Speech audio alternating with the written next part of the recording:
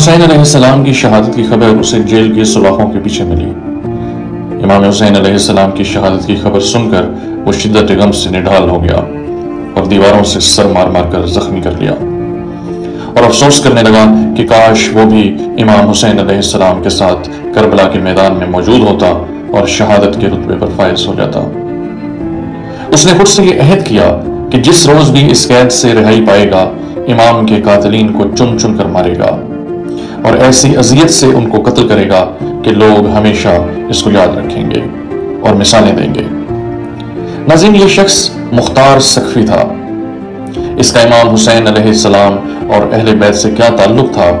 اور یہ یزیدی لو لشکر کا اس قدر مخالف کیوں تھا؟ امام حسین علیہ السلام کا یہ فدائی مختار سقفی، جس نے امام علیہ السلام کے قاتلین کو چن چن کر مارا اور مسلمانوں کے دلوں کو راحت پہنچائی۔ مختار کیا کرتا تھا؟ مختار کا پیشہ کیا تھا؟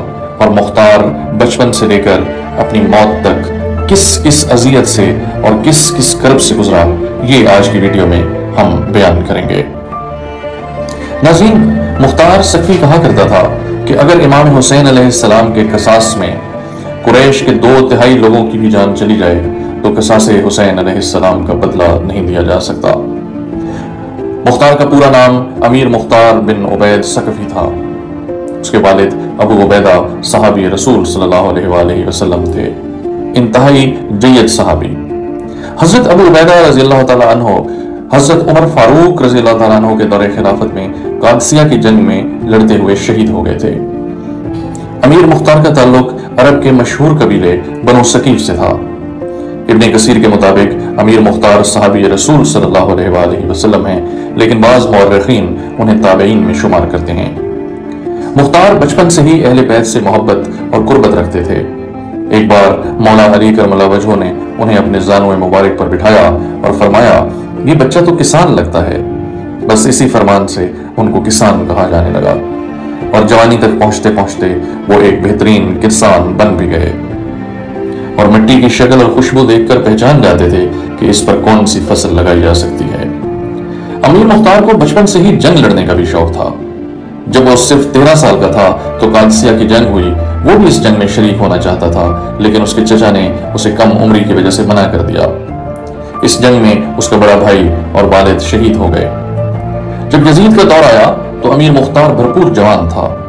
اسے علم ہوا کہ امام حسین علیہ السلام نے یزید کی بیعت کرنے سے انکار کر دیا ہے۔ وہ اس وقت کوفہ میں موجود تھا۔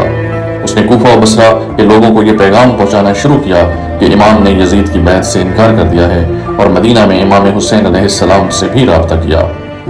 کوفہ و بسرا کے لوگوں کو نہ صرف یہ پیغام پہنچایا، بلکہ واضح نصیحت بھی کی کہ اس وقت راہ حق یہی ہے کہ یزید اور اس کی ظالم حکومت کے خلاف امام حسین کا ساتھ دیا جائے۔ کہ امام حسین علیہ السلام دنیا و آخرت میں نجات کا واحد ذریعہ اور سبب ہیں۔ امیر مختار کی اس کاوش پر کوفہ کے گورنر عبید اللہ ابن زیاد نے انہیں گرفتار کر لیا اور پابند سلاسل کیا۔ تشدد کیا گیا، کوڑے لگوائے گئے اور اسی تشدد میں ان کی ایک آنکھ کی بینائی جاتی رہی۔ نظیم دس محرم الحرام کو امام حسین علیہ السلام اور آپ کے ساتھیوں اور بچوں کو انتہائی بے دردی سے کربلا میں شہید کر دیا گیا۔ اور آپ علیہ السلام کا سر مبارک پہلے عبید اللہ ابن زیاد کے دربار میں پیش کیا گیا۔ ابن زیاد نے امیر مختار کو دربار میں طلب کیا اور امام حسین علیہ السلام کا سر انور دکھایا اور کہا، اسی سر کو تم دنیا و آخرت کی نجات دہندہ کہتے تھے؟ امیر مختار نے جب امام حسین علیہ السلام کا سر انور دیکھا تو وہ بہت رنجیدہ ہوا اور زارو قطار رونے لگا اور دل ہی دل میں یہ قسم اٹھائی کہ وہ اس قید سے نکلے گا۔ اور امام حسین علیہ السلام کے قاتلین کو چن چن کر مارے گا۔ کچھ دن بعد امیر مختار اپنے ساتھیوں سمیت قید سے فرار ہونے میں کامیاب ہو گیا اور کوفہ سے طائف کی طرف نکل گیا اور اپنے دل میں اس بدلے کی آگ کو دبا کر پہلے پوری حکمت عملی بنائی، اپنے پرانے ساتھیوں سے رابطے کیے اور ایک چھوٹی سی فوج بنا لی۔ اور پھر اپنے ایک اور پرانے ساتھی ابراہیم بن مالک اشتر کو بھی ساتھ ملا لیا۔ ناظرین، ابراہیم بن مالک اشتر مولا علی کرم اللہ وجہ کے بہترین کمانڈر مالک اشتر کے بیٹے تھے، جن کو بنی امیہ نے ہی زہر دے کر شہید کروا دیا تھا جب وہ کوفہ سے مصر کی جانب روانہ تھے۔ ابراہیم بن مالک اشتر کی فوج بھی امیر مختار کے لشکر میں شامل ہو گئی۔ اس کے بعد امیر مختار نے اجمیوں اور ایرانیوں اور دیگر قبیلوں کو بھی اپنی فوج میں شامل کیا، جو بنی امیہ کے ظلم ستم سے سخت نالاں اور پریشان تھے۔ رفتہ رفتہ امیر مختار کی طاقت بڑھنے لگی۔ اس کے دل کی آگ بھی بھڑکنے لگی اور سلگتی چنگاریاں شولے بننے لگیں۔ امیر مختار کی فوج اب کسی بھی بڑی لڑائی کے لیے تیار تھی۔ چنانچہ اس نے کوفہ پر حملہ کر دیا۔ اس وقت کوفہ پر عبداللہ ابن زبیر نے اپنا گورنر مقرر کر رکھا تھا۔ امیر مختار نے اس سے جنگ کی اور کوفہ پر اپنی حکومت قائم کر لی۔ چھیاسٹھ ہجری میں امیر مختار نے اعلان کر دیا کہ وہ امام حسین علیہ السلام اور آپ کی اولاد اور ساتھیوں کے خون کا بدلہ لے گا۔ چنانچہ اس اعلان کے بعد کوفہ کے لوگ بھی جو اب یزیدی تسلط سے آزاد تھے، امیر مختار کے ساتھ مل گئے۔ امیر مختار نے ان تمام لوگوں کی ایک فہرست بنوائی جو کربلا میں امام حسین علیہ السلام کے خلاف جنگ لڑے تھے اور امام علیہ السلام اور آپ کے ساتھیوں کو شہید کیا تھا۔